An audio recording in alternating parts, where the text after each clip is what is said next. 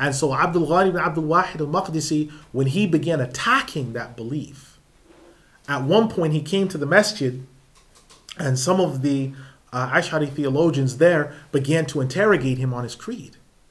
I mean, it got that serious. And he said, My creed predates your creed. And so they got in a huge discussion. And so some of the Ash'ari scholars said, No, you've deviated.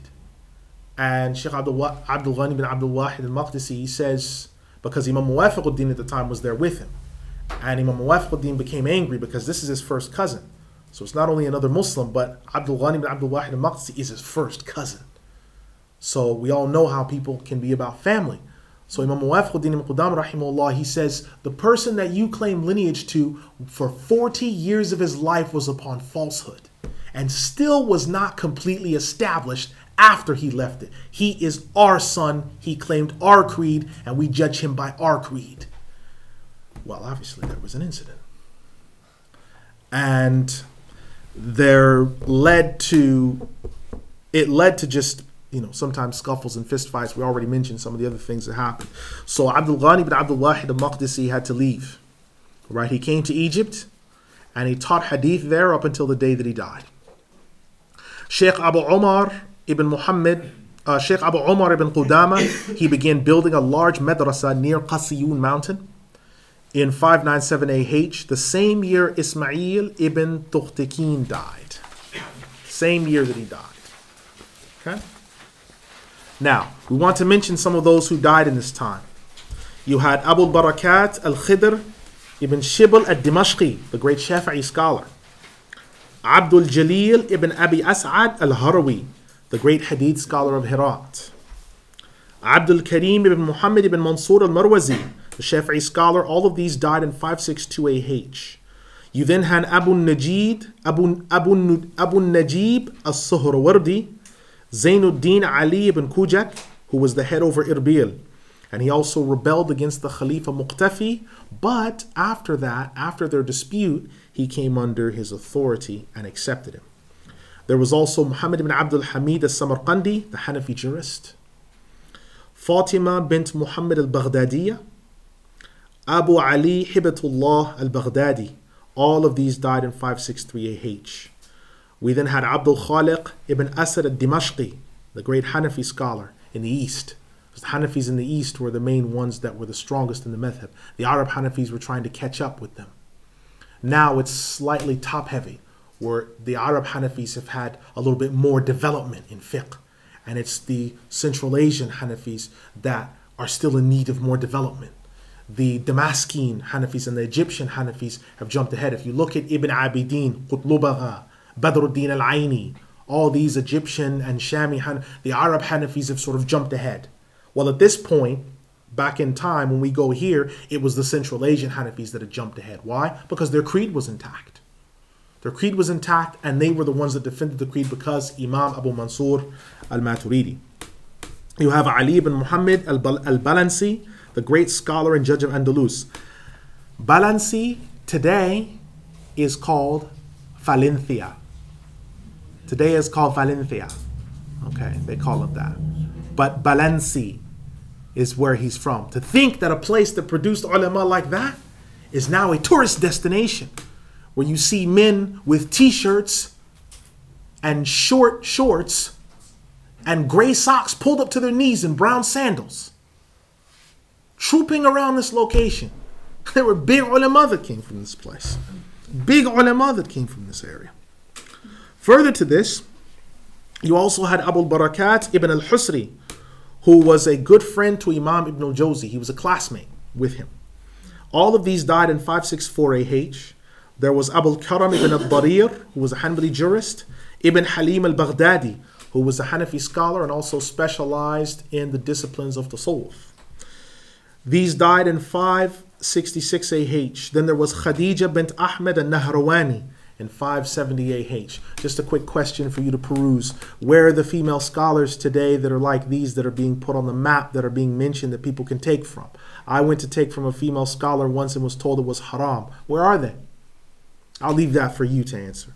Then there was Ibn Asakir, the great Shafi'i alim. Ibn Asakir wrote numerous books, particularly one defending Abul Hassan al Ash'ari and his theology, because some of the scholars in his time uh, began to denigrate, not all of them, but some of them began to denigrate, denigrate Abu al-Hasan al-Ash'ari, some of the Maturidis, some of the Hanbalis, because they said, our Imam started out correct with the correct creed. Your Imam started out with a deviated creed and intended to keep, still hold on to the deviation when he came to the Orthodox faith. So there was still that dispute.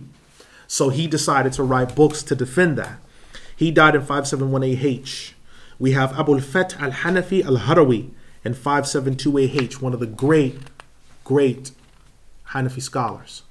You will see later as we go along, the Hanafis built a dynasty in Afghanistan in terms of their knowledge, particularly the Pathans. You had Mullah Ali Qari, the great scholar, great Hanafi scholar, Mujaddid al-Thani. His title's actually the Mujaddid of the 12th century. Ahmed Sirhindi, Imam Ahmed Rida Khan. These were the people that were the proper scholars. And so they continued in Afghanistan and the places around there. We also find in this time Shuhada bint Abi Nasr, 574 AH, Imam Ibn As-Sa'igh in 575 AH, Shamsud Dawla al-Malik al-Mu'azzam, Turan Shah, the older brother of Salah ad-Din, whose sister had him buried at her school in Sham in 576 AH. You have Abu al-Hasan al-Bajra'i in 588 who was a student and a teacher at the madrasa of Imam Abdul Qadir al-Jilani. You have Shu'aib ibn al-Hussein al-Tilmisani who was also called Abu Medyan. Now he's very important. People uh, who know about him, he's sometimes called Sheikh Shuyukhina, the Sheikh of our Sheikhs. Abu Medyan is coming from that North African region. Those that claim lineage to the Shadiliya will often mention Abu Medyan. He was known for his rigorous fasting, his worship, his knowledge of the states of the human self, and was a self and was a self-realized saint. He is to Morocco perhaps what Abu Hamid al-Ghazali was to Baghdad in terms of his importance. Abu Medyan, his knowledge of the states of the heart, and his careful detail that he took when discussing matters of the religion showed his righteousness. A Maliki, he's Maliki. But Abu Medyan was a great scholar, and that can't be disputed. That can't be disputed. He traveled throughout North Africa sitting with different ulama and different sheikhs. He is such a revered figure. If you go to the library in this city, there's a study that's been made about him that's 300 pages long. I advise you, if you can, not all of you because it's only one book, but if if uh, take turns, if you can, order it, Amazon it, if you can, to get the book about Abu Medyan. It's just titled with his name. I I'm not able to remember off the top of my head the particular kafir that translated it, but this kafir took the trouble to learn Arabic and he has kept the Arabic text in the book next to the English on the opposite page and discussed and uh, salivated over Abu Medyan and his rank and how noble he was. And I thought to myself when reading this, I hope this man entered Islam knowing what he knows, if he died of a sudden coronary or arterial sclerosis, he's finished. Because you don't know about someone like this and then up and die kafir. You just cannot do this.